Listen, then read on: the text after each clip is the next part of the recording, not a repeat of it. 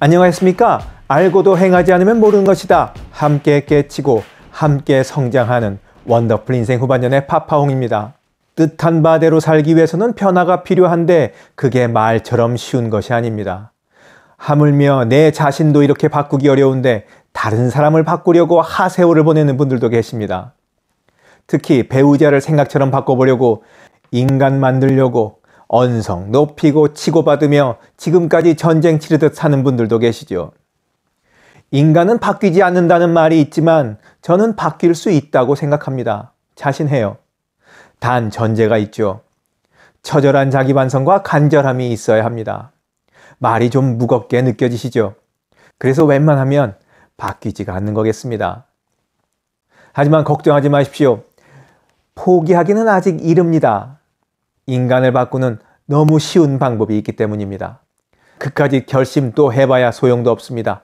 변할 수 있는 방법은 이것밖에 없어요. 자, 어떻게 하면 변하는지 본격적인 이야기 지금부터 시작합니다.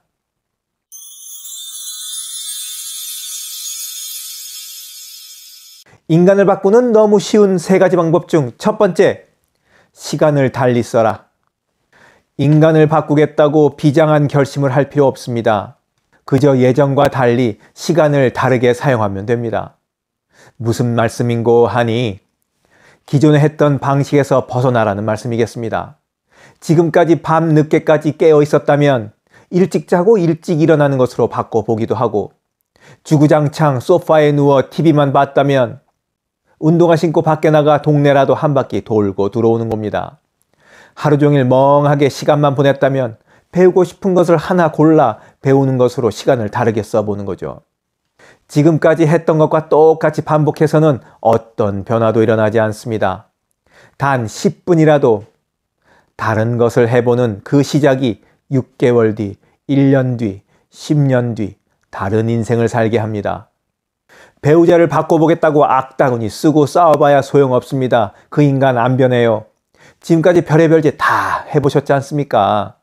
그런데도 오늘 또 언성을 높이고 미간을 찌푸리고 욕을 해봐야 자신이 미련하다는 것밖에 증명되는 것은 하나도 없습니다. 바뀌지 않는 배우자가 미련하기 이전에 바뀌지도 않는 사람을 붙잡고 바꿔보겠다고 악다구니 쓰는 자신이 미련한 거죠. 배우자를 바꿔보겠다고 붙어서 다투는 그 시간에 배우자를 이해하고 그의 부족한 것을 자신이 메꿔주거나 아니면 아예 시선을 돌려 온전히 자기 자신을 위해 시간을 써보는 겁니다. 시간을 달리 쓰세요. 인간을 바꾸는 너무 쉬운 세 가지 방법 중 두 번째, 사는 곳을 바꿔라. 변화는 익숙하고 편안한 곳에서 일어나지 않습니다. 더구나 의지까지 약하다면 사는 곳을 바꿔라. 그냥 이사 가라는 것이 아니라 환경을 한번 바꿔보라는 제안입니다. 더구나 바꾸는 환경에서 약간의 강제성이 더 주어진다면 더욱 좋을 수 있습니다.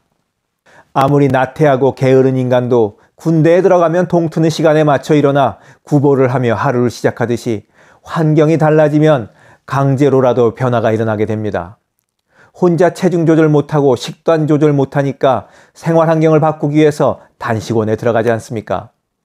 집에서 혼자 운동할 수 있는 방법은 수도 없이 많고 산책로 곳곳에 운동기구가 갖춰져 있지만 헬스클럽에 가서 운동을 하고 집이 절간처럼 조용하지만 굳이 독서실에 가서 공부를 하는 것도 같은 이치겠습니다. 그러자면 돈이 좀 들어가긴 하지만 혼자 해내는 의지가 약하니 어쩌겠습니까? 좀 같이 하는 사람들이 있으면 그 분위기에 젖어 함께 가는 거죠. 그러니 돈을 쓰는 수밖에요.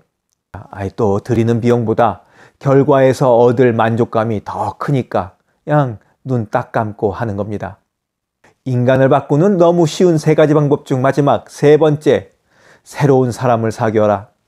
어느 모임에 나가서 이런 경험 해보신 적 있을 겁니다. 모임 시작과 함께 진행자가 나와서 모든 참석자들에게 일어나서 자리 이동을 하라고 제안하거나 아예 짝수 홀수 정해서 싹 일시에 자리 이동을 시키기도 합니다.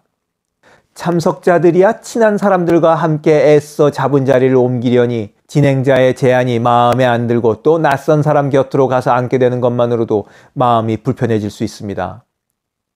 진행자는 왜 참석자들의 앉은 자리를 바꾸라 했을까요? 여러분들도 아시다시피 새로운 사람을 만나게 하기 위해서입니다. 새로운 사람을 만난다는 것은 새 세상을 경험하는 것이고 이는 곧 추억이 되고 또 내 인생을 풍요롭게 해주는 자양분이 됩니다. 끼리끼리 만난다는 말이 있습니다. 그렇게 같은 생각, 같은 습관, 같은 취향을 지닌 사람과 만나는 것이 편하기는 하겠지만 한편으로는 우리를 그 고정된 틀에 가두기도 합니다. 만나기만 하면 술 마시는 친구들과만 늘상 어울려 지내다 보면 세상 모든 사람들이 친구 만나면 술만 퍼마시는 것으로 착각하기 쉽습니다. 술 없이도 친구와 어울릴 수 있는 세상이 있다는 것을 상상도 못하죠, 그분들은. 또 하는 일 없이 세월만 낚는 친구들과 어울리다 보면 세상 모든 사람들의 노후는 그렇게 새로운 것을 배우는 것 하나 없이 옛날 얘기만으로 시간을 흘려보내는 줄만 알고 삽니다. 좋은 친구 사귀어야 한다. 친구 가려서 사겨라 하는 말은 꼭 아이들에게만 해당되는 말이 아닙니다. 변하고 싶으면 변화를 위해 노력하는 사람들과 어울려야겠습니다.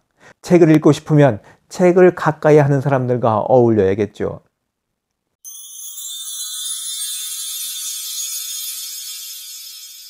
사람을 바꾸고 인생을 바꾸기 위해 머리를 짧게 깎고 뭐 혈서를 쓰는 것처럼 비장함이 있어야 하는 것은 아닙니다.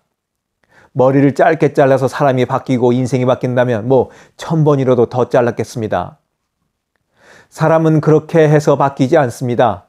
불과 몇 개월 전 했던 신년 계획은 예년과 다르게 또 얼마나 비장했습니까?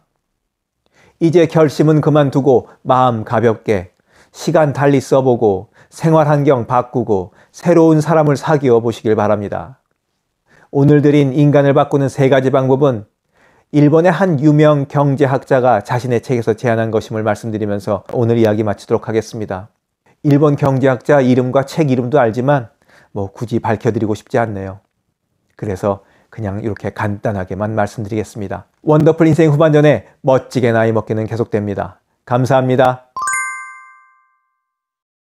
자랑질, 지적질, 아는 채, 있는 채 하는 사람들에게 지치셨죠? 상대방의 얘기 경청하고 익은 벼처럼 겸손한 사람들이 모인 곳이 있습니다. 바로 네이버 카페 실버들의 전성시대입니다. 너무 가깝지도 너무 멀지도 않은 친구가 필요하다면 네이버 카페 실버들의 전성시대로 오시면 됩니다. 아래 댓글란 맨 위에 초대글을 올려놓을 테니까 클릭하고 들어오시면 아주 간단하게 회원가입이 됩니다. 아참, 냉소적이고 비아냥거리고 자기 주장 강하고 남 얘기에 이죽거리는 분은 죄송하지만 절대 사양합니다.